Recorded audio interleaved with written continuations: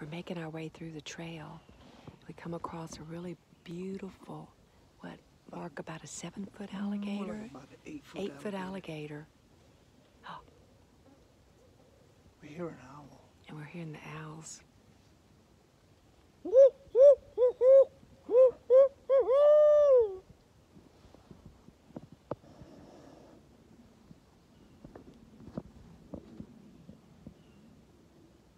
Look at this place. Look where we are. We're in the middle of Nowhere.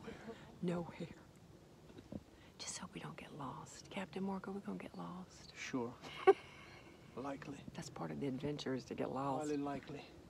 That's why we say, are we lost yet? We'll find our way out one way or another. But look back here, y'all. You can't see that alligator, but he's over there on that log. But he's beautiful.